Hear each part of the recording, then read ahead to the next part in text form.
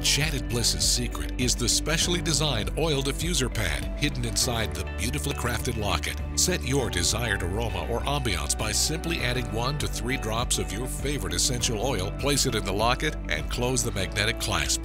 Different colored pads. You can always coordinate your outfits and your scents for any mood of the day. If you're looking for a little pick me up, you might skip the coffee and opt for lemon oil or rosemary instead. Use peppermint oil to ease a hectic day. Lavender or chamomile can portray a sense of calmness to the mind and body. Whatever mood you're in, or whatever mood you want to create, there are countless possibilities with Enchanted Bliss.